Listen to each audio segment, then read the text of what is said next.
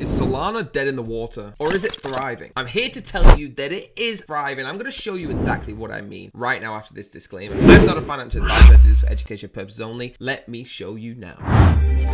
So the ecosystem of Solana is actually thriving right now because of the NFTs. Okay, they're actually mapping out the future of Solana. Okay, an NFT is a non-fungible token if you don't know already, and it is absolutely thriving here, right? It's taken the second spot after Ethereum, and in popularity, it's asking for a lot cheaper transactions. All right, Sol's gas fees are very, very low. Now it's grown real rapidly. NFTs are hosted and minted. The marketplace is the project, everything about them. If you don't know what NFTs are, please, please go back and have a look at some of the videos explaining what they are. But you can see some of the NFTs here. All right. It's incredible how well NFTs are making way in the crypto space. Very, very well. If you go to this article at visualcapitalist.com, you can have a read of yourself for it as well. But NFTs in the Solana ecosystem are thriving. So let's now talk about the ecosystem at Solana. All right, besides NFTs, it actually has a lot more to offer. Their ecosystem goes well beyond just NFTs, as you can see. They've got all their DeFi projects, all right, Orca, Saber, Serum, Drift Protocol, things like that. They've got all their protocols, and of course, they've got the NFT marketplaces like Magic Eden, Celeste, DigitalEyes, all right. They've got their Web3 apps as well, Fantasia, Audius, Rape, and Panzer Dogs. There's much, much more, right? It's really, really cool. The most popular one right now, as you can see, 8.5k and rising,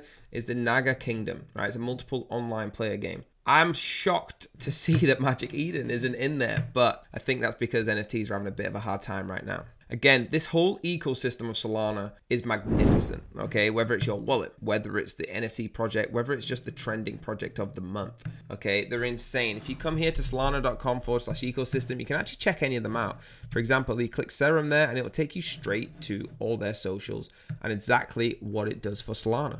Now, one really cool thing about Solana, right, it's fast and eco-friendly, same with all of their apps and everything they use.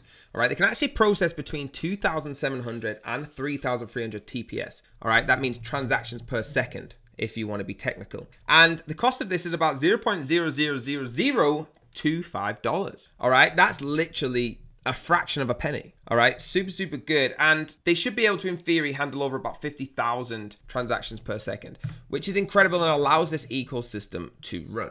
So guys, Solana is still doing fantastic work. Even though the price of crypto is going down, we still have a huge ecosystem here. So please, please keep involved in everything Solana. All right, guys, hit that like button, hit that subscribe button, hit the bell if you want to be notified, and I will see you next time.